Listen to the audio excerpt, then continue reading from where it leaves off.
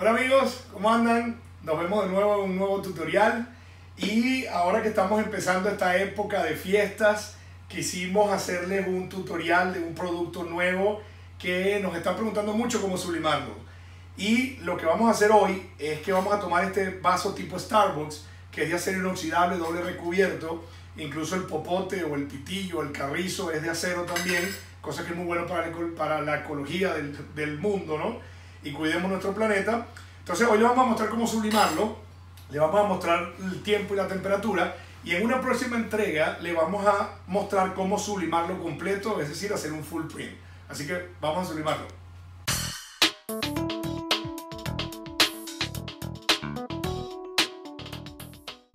Ok amigos, aquí tenemos ya nuestro arte. Eh, recuerden que el arte siempre se imprime en forma espejo, está impreso con nuestra tinta Tineg y nuestro papel Tineg. Recuerden que siempre nuestro papel Tineg es rosa por la parte de atrás.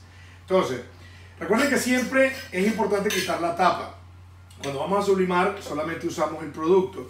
Y cuando son vasos cónicos es importantísimo eh, ajustar bien la imagen. Así que yo voy a tomar un poco de tiempo, lo voy a ajustar bien y ya regreso con ustedes para mostrarles cómo lo vamos a hacer. Ok amigos, ya aquí preparamos nuestro producto para sublimarlo. Como pueden ver, esta es una pequeña técnica que siempre recomendamos. Tratar de hacer X con la cinta térmica eh, a lo largo del, del papel esto porque el producto es cónico y al momento de que tiene presión con la resistencia, los objetos cónicos tienden a salirse.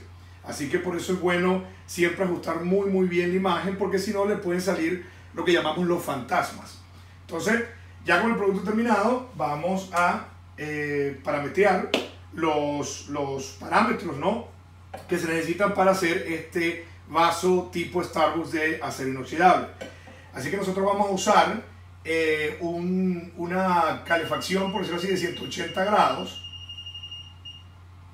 Esa sería nuestra temperatura y lo vamos a hacer por 60 segundos. Así que mientras la máquina llega a los 180, eh, volvemos en una toma ya para sublimar el producto. Ok, ya nuestra máquina llegó al tiempo seteado y al, a los grados seteados, que son 180 grados.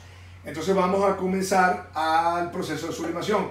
Esto es un vaso de acero inoxidable, amigos. Recuerden siempre tener un guante porque esto sale muy caliente y es bueno no, no quemarnos, ¿no? Así que vamos.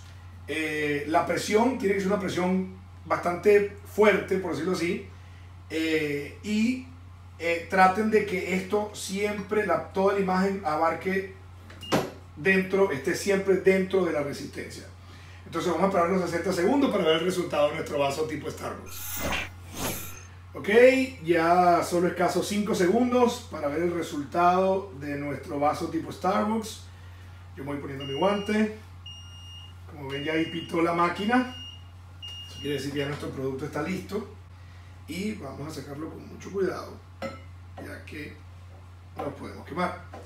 Y ahora aquí sí es muy importante también tener cuidado cuando lo vayamos a, a pelar, ya que lo que menos queremos es dañar la superficie que está aún muy caliente del producto. Vamos a sacar la primera y ahí lo vamos sacando poco a poco.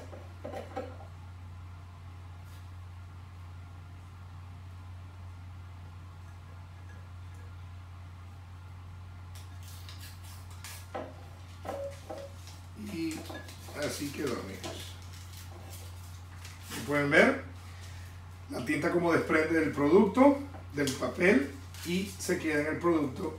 Y acá tenemos nuestro vaso tipo Starbucks para celebrar la Navidad en estas fiestas que vienen y que nos abren el camino a el 2020 que con toda seguridad vendrá con muchas cosas buenas para la marca Tineg y todos los aliados.